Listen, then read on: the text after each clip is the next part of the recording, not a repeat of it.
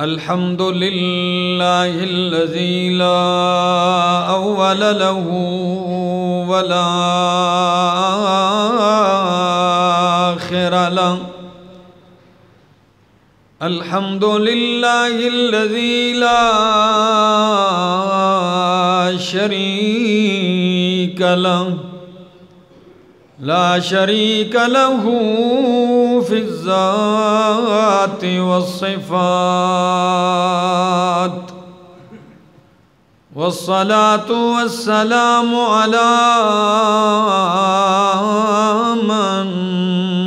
उर्सिला बिलबराही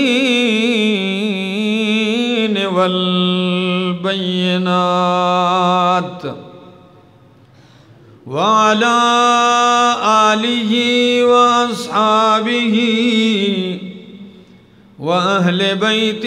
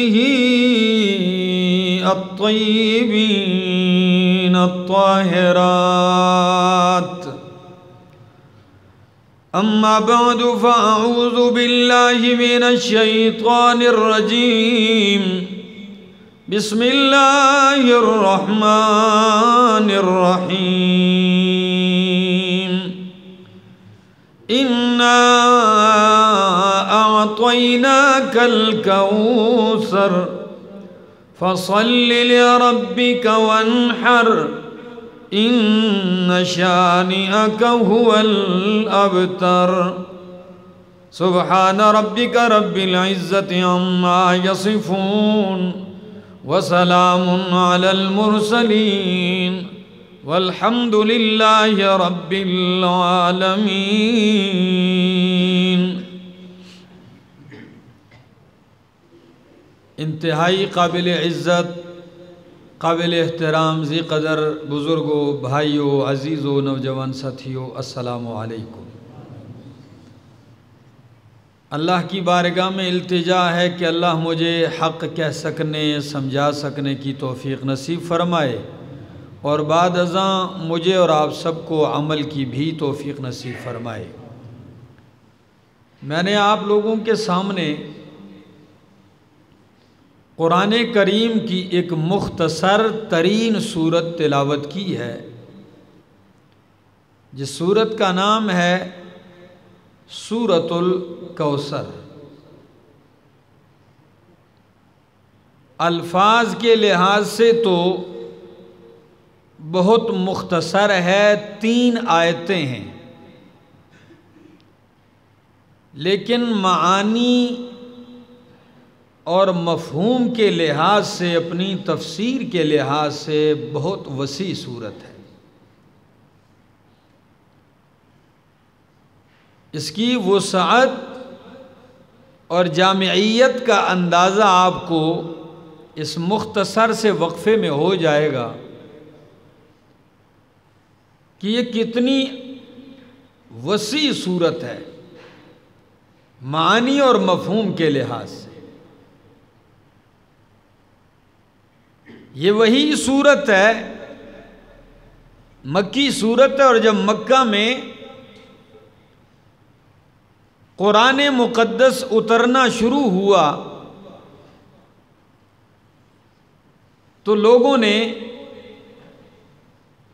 ये दावा किया कि ये कुरान अल्लाह का कलाम नहीं, ये मोहम्मदुर रसूलुल्लाह ख़ुद बनाते हैं। रात को सोचते हैं, सुबह कुछ आके कह देते हैं। उस वक्त कुरान मुक़द्दस में अल्लाह ने तीन चैलेंज दिए। उसमें पहला चैलेंज ये दिया कि अगर ये कुरान मोहम्मद अरबी का बनाया हुआ है, ये इनका कलाम है।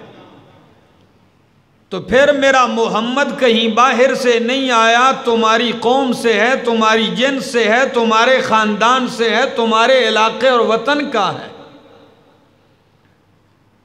चालीस साल तुम में गुजारे हैं, शायर भी नहीं रहा कि कुछ कसीदे कहे हों। और न ही किसी मकतब और मदरसे में पढ़ा है तुम्हारी मौजूदगी में। तो फिर अगर मेरा मोहम्मद बना सकता है तो तुम सारा अरब मिल के क्यों नहीं बना सकते हो? अगर ये बशर का कलाम है तो तुम ही बना लो। तुम्हारे अंदर बड़े बड़े शायर मौजूद हैं बड़े बड़े फसीह और बलीग मौजूद हैं। लबीद जैसा शायर है कि जिसके बारे में अरब लोग मशहूर, जुमला है अरबियों का। कि लबीद इतना कीमती शायर है कि जब ये बोले तो इसके अल्फाज को ज़ाया होने न दो, बल्कि अगर लिखने के लिए तुम्हारे पास कलम नहीं तो खंजर से लिखो, स्याही नहीं है तो अपनी गर्दन की रग मार के खून निकालो और उससे लिखो। लेकिन इसके अल्फाज ज़ाया ना जाएँ। ऐसा फसी शायर मौजूद है। आए ना मैदान में। साहबान बिन वाइल जैसा शायर मौजूद है, जिसने बालिग होने के बाद ज़िंदगी भर मुकर्र जुमला नहीं बोला। जो जुमला एक दफ़ा बोल दिया, पूरी ज़िंदगी में दोबारा नहीं बोला। नए नए अल्फाज। तुम्हारे पास तो ऐसे लोग हैं, एक दो नहीं, सारे मिल के बना लो। लेकिन क्या कहा?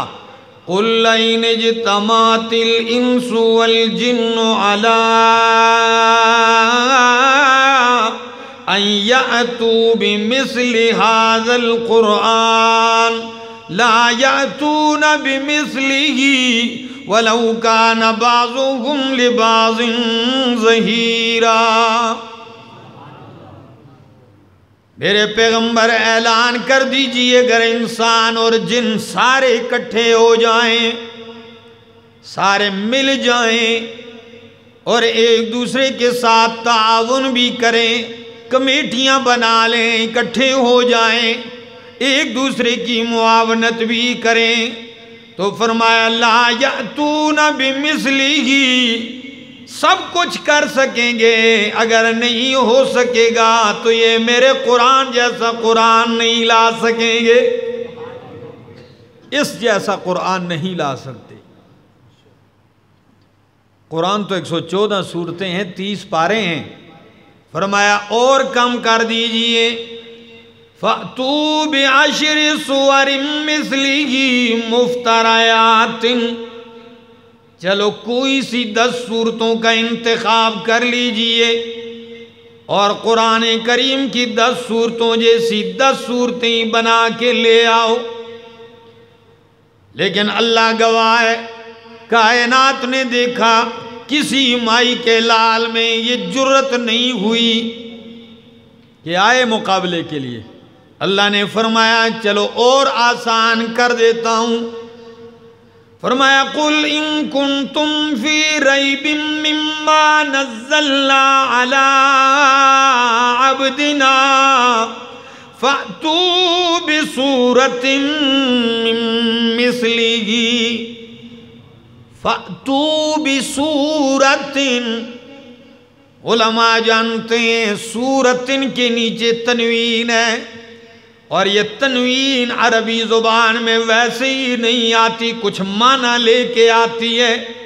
कभी ये किसी चीज़ को घटाने के लिए आती है, कभी किसी चीज़ को बढ़ाने के लिए, कभी किसी चीज़ का छोटा होना बयान करती है, कभी किसी चीज़ का बड़ा होना बयान करती है।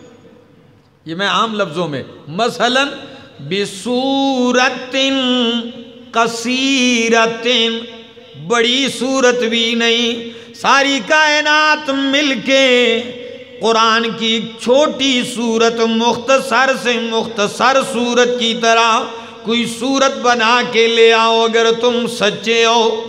लेकिन यकीन कीजिए, ये तुम्हारे बस का काम, ये तुम नहीं कर सकते। क्यों?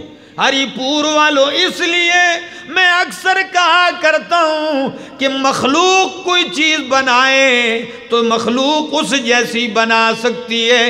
एक कंपनी जहाज़ बनाए, दूसरी कंपनी उससे आला जहाज़ बना देती है। एक मुल्क ने एटम बम बनाया, दूसरे ने उससे अच्छा बनाया, उस जैसा भी बन सकता है, उससे अच्छा बन सकता है। लेकिन मेरा मालिक बराए रास्त जो चीज़ बनाए, उसकी तरह कोई नहीं बना सकता। अल्लाह ने आसमान बनाया है, सारी कायनात मिलके आसमान बना सकती। अल्लाह ने ज़मीन बनाई है, मखलूक ज़मीन बना सकती। अल्लाह ने सूरज चाँद बनाया है। सारी कायनात मिलके सूरज जैसा सूरज, चाँद जैसा चाँद नहीं बना सकते।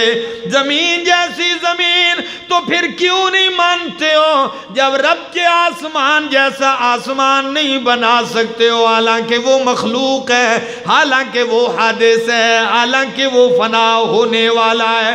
जब आसमान जैसा आसमान नहीं बना सकते हो तो रब के कुरान जैसा कुरान कैसे बना सकते हो? जबकि ये मखलूक भी नहीं अल्लाह का कलाम है, अल्लाह की सिफत है। जब ये चैलेंज उतरा कि बिसूरतिन, एक सूरत ले आओ तो उस वक़्त काबे की चौकाठ के साथ, कोने के साथ शुरा आके अपने अपने कसीदे लटकाया करते थे। ये सब अमल्लक़ात जो हमारे यहाँ दरस निज़ामी में पढ़ाई जाती है किताब, इसमें शायरी हैं। ये अशर मुल्लक़ात थे। अब बाद में तीन हटा के दस, सात कर दिए। इनको मुल्लक़ात क्यों कहा जाता है?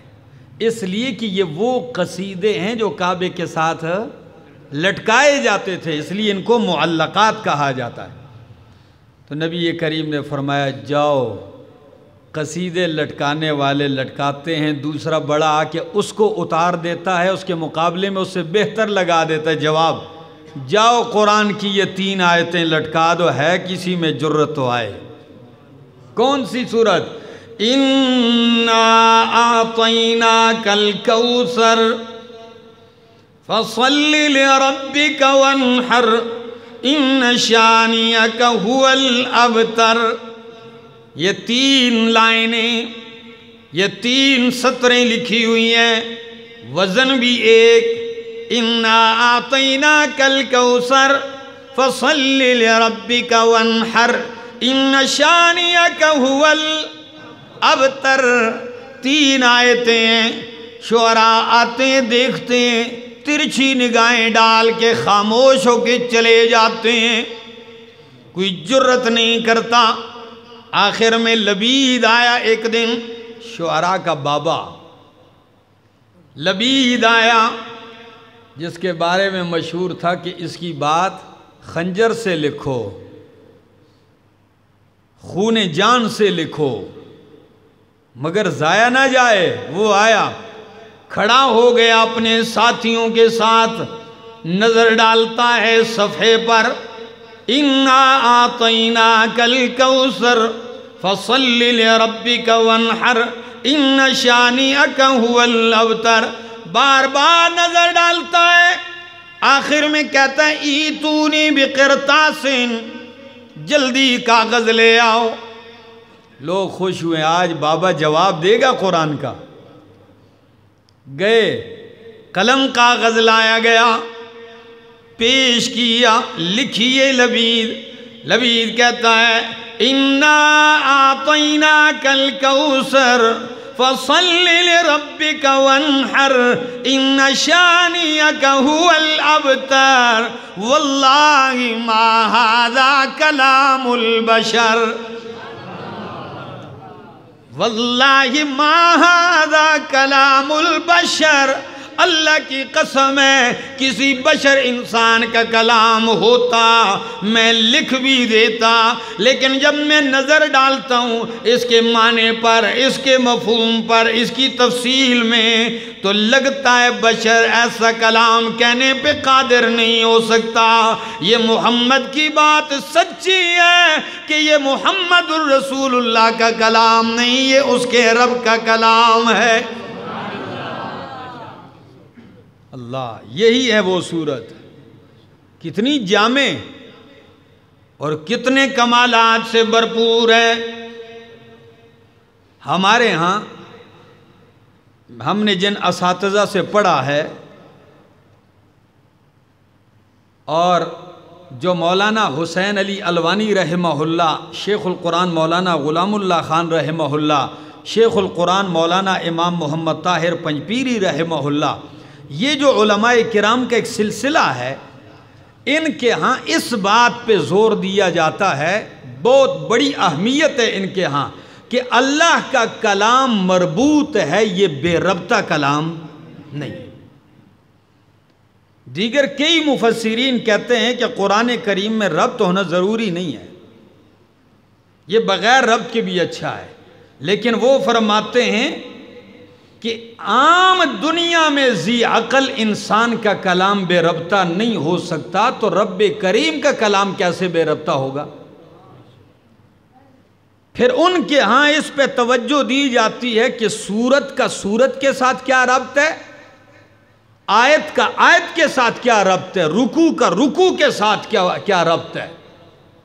और इस सिलसिले में शेखुल कुरान मौलाना मोहम्मद ताहिर पंजपीरी रहमल्ला ने किताब लिखी है, जिल तो एक है, जिसका नाम है सिम तो दुरर फ़ी रब्तिल आयात व सोवर। आयतों और सूरतों का रब, लेकिन यकीन कीजिए, अगर कोई आलिम उसे खोले और लिखना शुरू कर दे तो पचास जिल्दों में आएगी। तो वो फरमाते हैं, ज़रा आइए इमाम राज़ी रहमल्ला रब ज़िक्र करते हैं। इन दो सूरतों का, कि सूरतुल कौसर से पहली सूरत का नाम है सूरतुल माऊन, और वो ये है आराईतल्लजीबिद्दीन फ़ज़ालिकल्लज़ी यदुल यतीम वला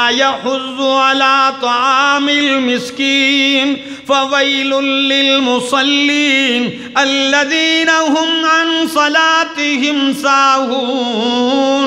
अल्लज़ीना हुम युराऊन वयमनऊन अलमाऊन सुनिए रब्त। फरमाया, दोनों सूरतों में बड़ा अजीब रब्त है। सूरतुल माऊन में मुनाफिक आदमी की चार सिफात ज़िक्र की हैं। कितनी सिफात? मुनाफिक बंदे की चार सिफात। हैं पहली सिफत मुनाफिक बंदे की, अलबुखलो, मुनाफिक बखील होता है। क्या होता है? दूसरी सिफत मुनाफिक की ये है तर्क सलात नमाज़ नहीं पढ़ता। तीसरी सिफत मुनाफिक की ज़िक्र की गई है कि जक़ात नहीं देता। क्या? और चौथी सिफत ये ज़िक्र की है कि अगर करता भी है कोई नेकी का काम तो अल्लाह के लिए नहीं, दिखलावे के लिए। रयाकारी, कितनी सिफतें? पहली सिफत ये ज़िक्र की है नमा के। मुनाफिक की पहली सिफत यह बखील। और दूसरी सिफत? जी? नमाज़ नहीं पढ़ता। और तीसरी सिफत दिखलावे के लिए पढ़ता है। चौथी सिफत यह है, जक़ात नहीं देता। अल्लाह के लिए, अल्लाह के लिए माली हक नहीं देता। ये चार सिफात हैं। और कौन कौन सी आयत में? फरमाया अराईतल्लजीबिद्दीन फ़ज़ालिकल्लज़ी यद्दुल वला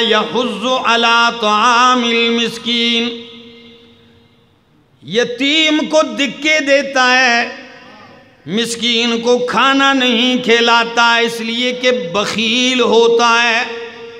तो सूरतुल माऊन में मुनाफिक की सिफत बुखल का ज़िक्र किया गया यहाँ उसके मुकाबले में बुखल नहीं, खैर कसीर का ज़िक्र किया गया है।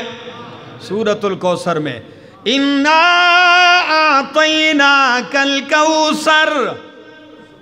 कि अल्लाह ने आपको बहुत सारा खैर, कसीर दिया है, ज़्यादा देने का ज़िक्र।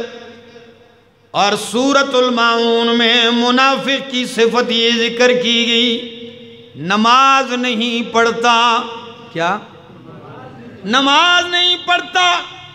तो इस सूरत में फरमाया फ़सल आप नमाज़ ना छोड़ें, बल्कि आप नमाज़ पे हमेश की कायम करें। और पहली सूरत में मुनाफे की सिफत ज़िक्र की गई। अल्लदीन युराऊन, के पढ़ता नहीं, अगर पढ़ता है तो युराऊन दिखलावे के लिए पढ़ता है। और इस सूरत में फरमाया फ़सल रब्बी का नमाज़ पढ़ दिखलावे के लिए नहीं ले रब्बी का किसके लिए? अपने रब के लिए तीन सिफतें। चौथा रब पहली सूरत में फरमाया कि यदुल यतीम वला यहुज़ अला तामिल मिस्कीन। जक़ात नहीं देता, मिस्कीन को खाना खिला, नहीं खिलाता। वह व यमनऊन अलमाऊन यमनऊन अलमाऊन छोटी छोटी चीज़ें भी जो देने की होती हैं वो किसी को? तो इस सूरत में फरमाया, मुनाफिक तो देता नहीं और आपकी शान ये होनी चाहिए कि वन हर कुर्बानी कीजिए, गोश्त तकसीम कीजिए। वो देता नहीं, आप दें। ये तो रब्त हुआ। और इस सूरत का खुलासा, सूरत का खुलासा शेखुल कुरान मौलाना गुलामुल्ला खान रहमुल्ला के तर्ज पे बयान करता हूँ।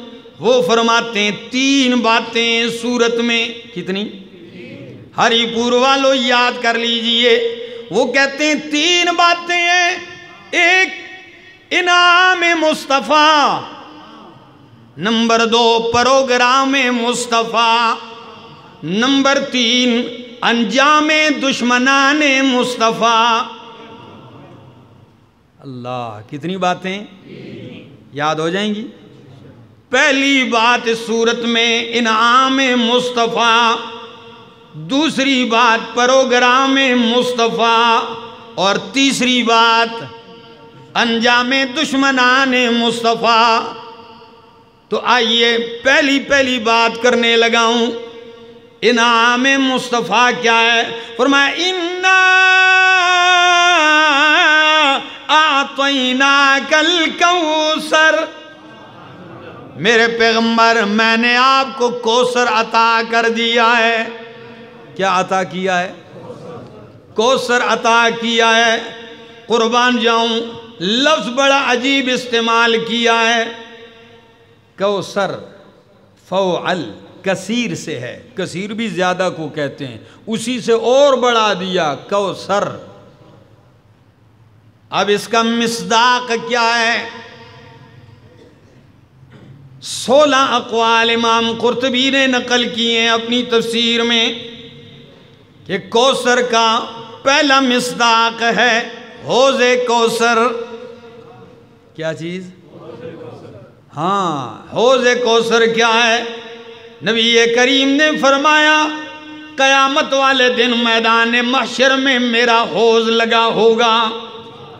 हौज कोसर लगा होगा, जिसका पानी शहद से ज़्यादा मीठा होगा, दूध से ज़्यादा सफ़ेद होगा, बर्फ़ से ज़्यादा ठंडा होगा, और जिस जिस खुश नसीब को मेरे हाथों से एक दफ़ा जाम नसीब हो गया, कयामत की इतनी गर्मी में उसको प्यास नहीं लगेगी। मन शरिब मिनहा, लम यजमा अबदा। पचास हज़ार साल का दिन है, इस गर्मी में उसे प्यास नहीं लगेगी। ये हौज कोसर अल्लाह ने मुझे अता किया है। और अगली बात भी ज़रा सुन लीजिए। नबी करीम फरमाते हैं, हरिपुर वालों कि जब सारी कायनात कब्रों से निकल के आएगी मैदान मशर की तरफ़ तो मैं सबसे पहले कयामत वाले दिन उठने वालों में से हूँगा और मैं कयामत वाले दिन होज कोसर पे अपनी उम्मत का इस्तकबाल करूँगा। अल्लाह अकबर। अना फरतुकुम अलल हौज कोसर पे मैं आपका इस्तकबाल करूँगा, इंतज़ार करूँगा। और जब मेरी उम्मत के लोग आएँगे, फरमाए, या रसूलल्लाह, आप किस तरह पहचानेंगे इतनी खलकत में कि यह आपकी उम्मत है? फरमाया, मैं उनको चेहरों से पहचान लूँगा कि वज़ू में जिन आज़ा को धोया जाता है, मेरी उम्मत वज़ू में जिन जिन आज़ा को धोती रही, कयामत में वो नुमाया चमक गए होंगे। मैं पहचान लूँगा कि ये मेरी उम्मत के लोग हैं। आएँगे, मैं जाम भरूँगा, लेकिन कुछ लोग आएँगे, आते ही दीवार हायल हो जाएगी। मैं चीख के कहूँगा, अल्लाह मेरी उम्मत में से है। मिन उम्मती, अल्लाह ये तो मेरा उम्मती है। तो जवाबन इरशाद होगा इन कला तदरीमा अहदसू का अल्लाह के पाक पैगंबर, है तो आपका उम्मती, लेकिन आपकी उम, आपके हाथों से जामे कोसर से महरूम हो गया। इसलिए कि आपके आने के बाद आपके दीन का हुलिया बिगाड़ के रख दिया था। नई नई चीज़ें बीच में शामिल कर दी बेदात। जिस तरह आज तक लोगों का ये सिलसिला जारी है, हर साल दीन में नया नया इजाफा करते हैं। ठीक है ना? दीन के नाम पे दीन में इजाफा किया जा रहा है। तो अल्लाह के पाक पैगंबर उस वक्त भी जलाल में आके कहेंगे, सोहकन सोहकन सोहकन ले मन गई दीनी। लाना तो जन्नत से दूरी हो रहमत से दूरी हो उनके लिए जिन्होंने मेरा दीन बदल दिया। तो इन्ना आतना कल कौसर मैंने आपको क्या दे दिया? बोलो, कौसर दे दिया। पता है ये जुमले कब कहें ये उस वक़्त कहे हैं जब नबी करीम का लखते जिगर अब्दुल्ला फोत हो गया था। नबी सलाम का बेटा फोत हो गया था। तो काफिरों के बड़े बड़े सरदारों ने कहा, आपस में मीटिंग की। बस बस। परेशान होने की ज़रूरत नहीं। अभी इनका मिशन ख़त्म हो जाएगा, इसलिए कि इनकी औलाद नहीं है। नरीना औलाद नहीं है। इन न मोहम्मदन बोतेरा। आपकी नस्ल ख़त्म हो गई, कट गई, आपकी औलाद नहीं है। मिशन रुक जाएगा। तो अल्लाह ने जवाबन तसली दी। मैं कहता हूँ नबी ये करीम इस जुमले से कितने परेशान हुए होंगे? जी? दुनिया का रिवाज आजकल भी, जिसकी औलाद ना हो ना, कहते हैं है ही बदबख्त है, लोग कहते हैं। इसको बेटे, ना ना, इसका फैसला कोई नहीं कर सकता। जब उन्होंने कहा, मिशन नहीं चलेगा, औलाद नहीं है, बस इनकी बातें इन तक ख़त्म तो अल्लाह ने तसल्ली देते हुए फरमाया, इन्ना कल कौसर, मेरे पैगंबर, अगर मैंने बेटा ले लिया तो मैंने कोसर अता कर दिया। मैंने बेटा लिया तो क्या अता किया? कौसर अता किया है। कौसर का दूसरा मिस्ताक, नहर है जन्नत में जिसका नाम कौसर है। पहला, हौज कौसर और दूसरी, नहर कौसर जो जन्नत में है। दो हो गई। तीसरा मिस्ताक कि मेरे पैगंबर, अगर मैंने आपसे बेटा ले लिया, सुलभी बेटा, जिस्मानी बेटा ले लिया तो मैंने आपको कोसर अता कर दिया अबू बकर उमर, उस्मान हैदर जैसे। आपका मिशन कैसे रुकेगा? ये कौसर है आपका। और तीसरा मिसदाक, इन्ना आतना कल कौसर। मेरे पैगंबर, अगर बेटा ले लिया तो कौसर मैंने आपको कुरान दे दिया। कुरान कौसर है, क्या है? कौसर है। अब आप कहेंगे, ये क्या मतलब? हदीस तो कुछ और बतलाती है। तो आइए मैं एक माना करता हूँ, सारे आपके जहन में जो इश्काल हैं वो ख़त्म हो जाएँगे। कि कौसर से मुराद एक बात नहीं, कौसर से मुराद सनदुल मुफसरीन हिबरुल उम्मत तर्जुमान कुरान अब्दुल्ला अब्बास रज़ी अल्लाह तु फरमाते हैं कि कौसर से मुराद खैर कसीर है। क्या चीज़ है? आप इस जुमले को समझे नहीं। आप कहेंगे कि छोटा कर दिया माना। नहीं नहीं। कुर्बान जाऊँ, ऐसा माना कर दिया। वो कहते हैं, कौसर से मुराद, खैर कसीर है। तो किसी ने सवाल किया कि जी उस्ताद मोहतरम, आप कहते हैं कौसर से मुराद खैर कसीर है। जबकि नबी करीम ने फरमाया कि अल्लाह ने मुझे हौज कोसर दिया है, नहर जन्नत की वो कौसर वो दिया है। अब्दुल्ला इब्ने अब्बास कहने लगे कि ओ मेरा शागिर्द, वो हौज कौसर और नहर कौसर, वो भी खैर कसीर का एक हिस्सा है। सर यही मुराद नहीं, यहाँ कौसर और हौज कौसर जो है, ये खैर कसीर का एक क्या है? एक हिस्सा है। ये एक मिस्ताक है। इसके मिस्ताकात बहुत सारे हैं। और एक ये भी लिया गया कि खैर कसीर से और कौसर से मुराद आपकी उम्मत है। क्या है? ये कौसर है। लोग कहेंगे, मिशन? फरमाया, मैंने आपको इतना नवाज़ दिया कि इतना किसी को नहीं। सुन लीजिए ज़रा हदीस। और झूम जाइए फिर। फरमाया नबी करीम फरमाते हैं, क़यामत वाले दिन जब तमाम इंसानों की सफ़ें लगेंगी। क्या? सफ़े लगेंगी। हर नबी की उम्मत की सफ। उम्मत मूसा, उम्मत ईसा, उम्मत इब्राहिम, उम्मत नू हर नबी की उम्मत की सफ़े लगेंगी। फरमाया, चालीस सफ़े तमाम नबियों की उम्मतों की होंगी और अस्सी सफ़े सिर मैं मोहम्मद की उम्मत की होंगी। अल्लाह इन्ना आतना कल कौसर, आपका मिशन नहीं रुकेगा, आपको मैंने कौसर दे दिया है। खैर कसीर, ये इसमें शामिल है। और दूसरी हदीस सुनाऊं फिर कह देना न सुबहान अल्लाह सुनिए ज़रा नबी करीम फरमाते हैं, सही बुखारी की हदीस है, और इसके जो हदीस के साथ जो दूसरे टुकड़े हैं, दीगर अहादीस की किताबों के, वो मैं मिला के आपके सामने पेश करता हूँ, ज़रा सुनिए। फरमाया, अल्लाह ने मुझ पर हर नबी की उम्मत पेश की। क्या? हर नबी की उम्मत मुझे दिखलाई। कि कोई नबी जा रहा है, उसके पीछे बड़ी जमात है। ऐसे भी नबी गुजरते हैं, किसी के पीछे दस बंदे हैं।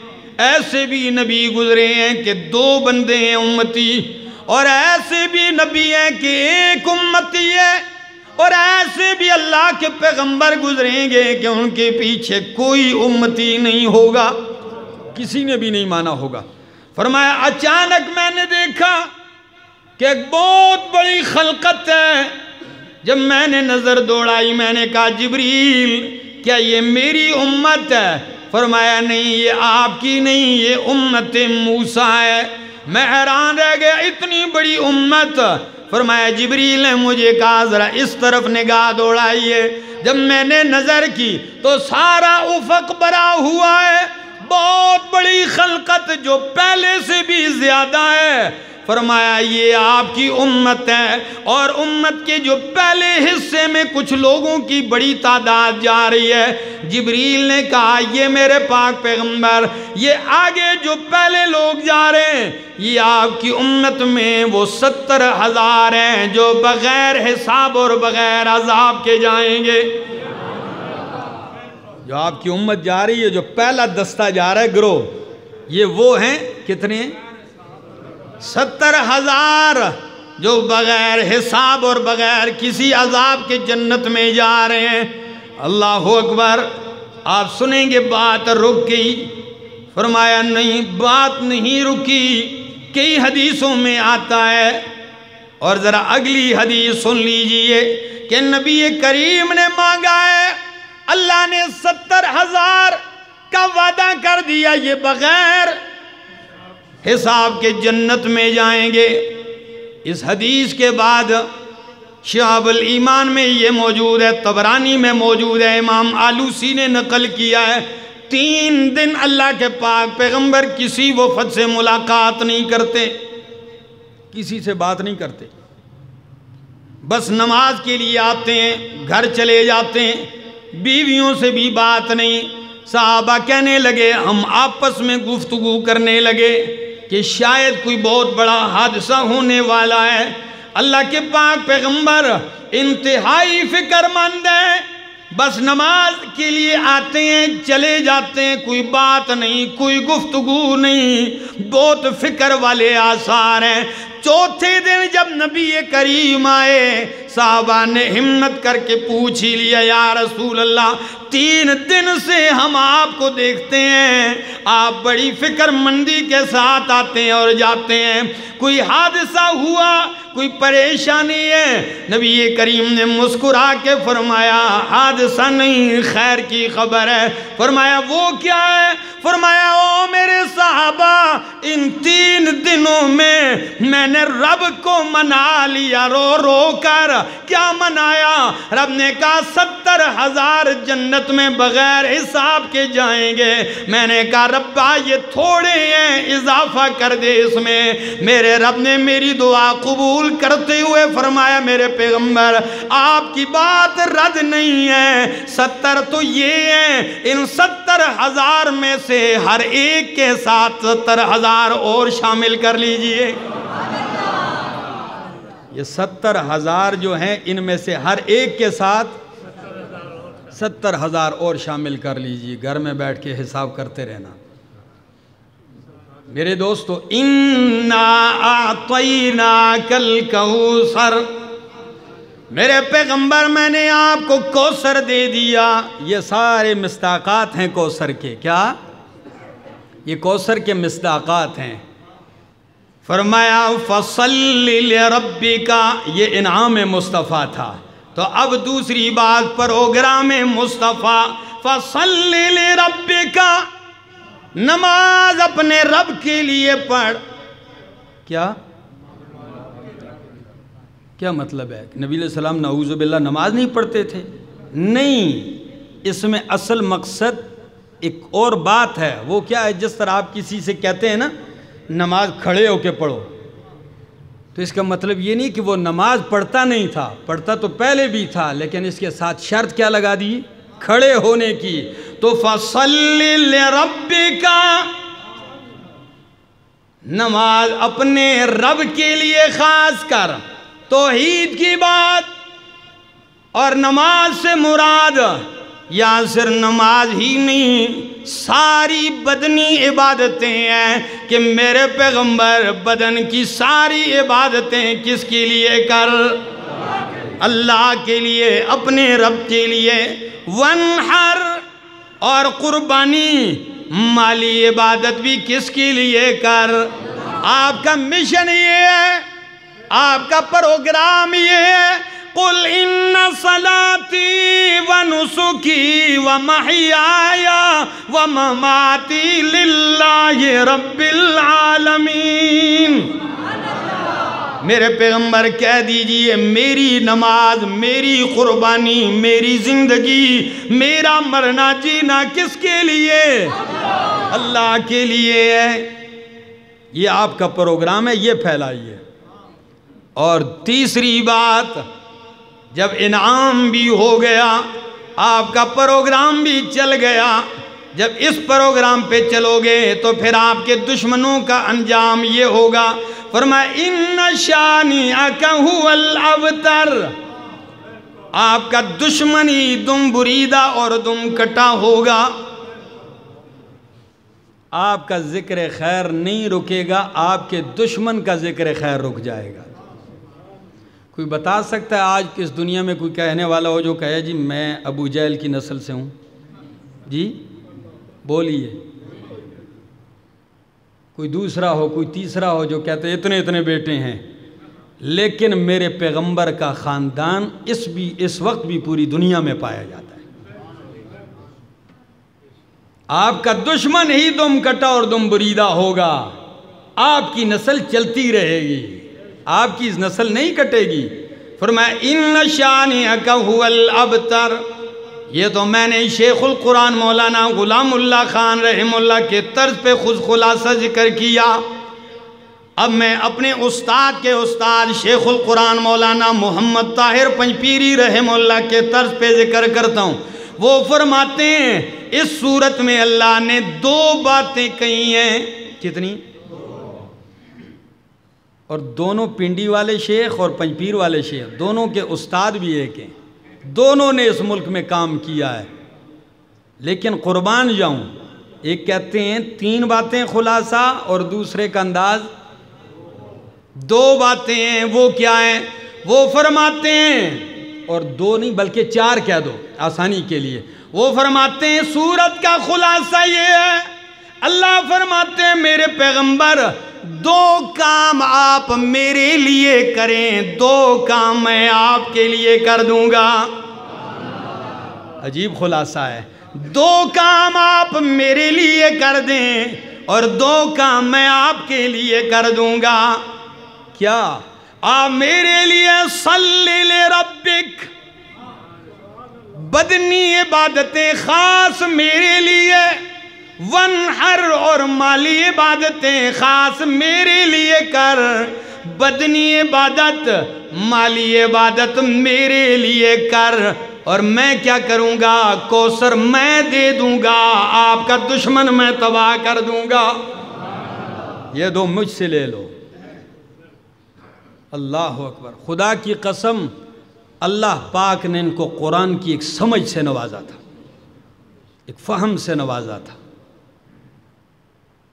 पश्तून बेल्ट में। आप अफ़गानिस्तान देख लें, खैबर पख्तूनख्वा के सारे इलाके। इस शख्सियत ने मेहनत की है। और उलमा ही नहीं, लाखों की तादाद में उलमा को भी पढ़ाया, लेकिन अंदाज समझाने का ऐसा था कि अगर रक्षा का ड्राइवर भी था, तांगे वाला भी था, गाड़ी का ड्राइवर भी था, पकोड़े तलने वाला भी था तो उसको इतना काबिल बना दिया कुरान समझा के कि वो दिन को मजदूरी करता और रात को रब का कुरान बयान करता था। ये एक मेहनत थी। इस मुल्क में हम भी यही दावत देते हैं, लोगों, खुदा के लिए, कुरान के दुरूस आम करो। आप देख लें कितनी मस्जिदों में दर्श होता है। बस नमाज़ पढ़ी चले गए। सलाम फेरा चले गए गए, अपना अपना काम संभाला हुआ है हर बंदे ने। अल्लाह की किताब को सिर्फ़ मस्जिद में इसलिए रखा हुआ है, जी शादी वाले दिन दुल्हन के साथ जाएगा हाँ? कोई मर जाए तो जनाजे के साथ जाएगा, कोई झगड़ा हो जाए तो कल कुरान कसम उठाने के लिए होगा, या फिर तावीज़ के लिए होगा। कौन था जिसने कुरान को हाथ में कहा, लोगों, आओ, कुरान समझो तो बात कह रहा था कि कितनी बातें? चार बातें हैं। और अगर पूरी सूरतों को आप पीछे से यूँ देख लें तो इस सूरतों में कमाल ये है। फरमाया, मेरे पैगंबर मावद्दा का रब्बू का व मा काला, वलल आखिरत खैरुल्लक मिनल ऊला। आपका हर आने वाला लम्हा मेरे हबीब गुजश्ता से बेहतर होगा। वाला सऊफयोती का रब का फतरवा। आपको आपका रब देगा यहाँ तक कि आप राज़ी हो जाएँगे। आपको आपका रब देगा। कितना देगा? कहाँ तक देगा? हत्ता तरजा, ताकि आप क्या हो जाएँगे? राज़ी हो जाएँगे। उधर फरमाया, रब देगा कि राज़ी हो जाएँगे। ये नहीं बताया, क्या देगा? इस सूरत में बता दिया कि, इन्ना आतना कल कौसर। खैर कसीर देगा। और इस खैर कसीर में बहुत सारी चीज़ें शामिल हैं। अल्लाह से दुआ है, अल्लाह अमल की तोफ़ी अता फ़रमाए, अल्लाह कुरान करीम की समझ नसीब फ़रमाए।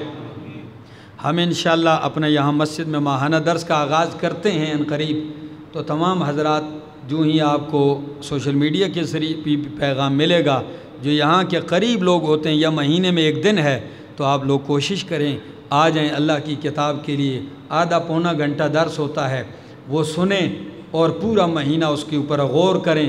इन एक तो ज़िंदगी कुरान से वाबस्ता रहेगी और दूसरी ये है कि कुरान के तालब में नाम आएगा और अगर रोज़ महशर रब ने उठा लिया तो कुरान के उलमा में उठा देगा। तो बाकी लाजमी नहीं है कि हर बंदा कोई मुफसर ही बन जाए, लेकिन अपनी मेहनत है बंदा उस सिलसिले के साथ जुड़ा रहे ताकि कल क़यामत के दिन इतना तो कहे अल्लाह, जितना सीखना था वो तो आपके सामने है, लेकिन आपकी किताब से मैं मुनक़ा नहीं रहा, कटा हुआ नहीं रहा, बल्कि जुड़ा हुआ रहा। अल्लाह हमें अपने कुरान के साथ जोड़े ही रखे।